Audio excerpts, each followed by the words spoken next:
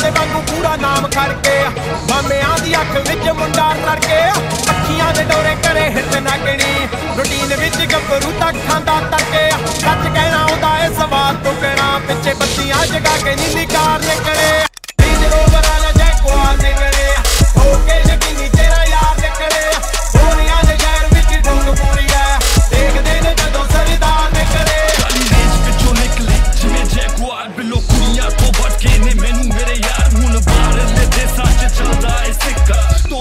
ਹੱਥ ਦਾ ਨਿੱਕਾ। ਟੀਮੀ ਐਲੀ ਪੰਜ ਮੁੰਡੇ ਹੋਰ ਖਾਸ ਨੇ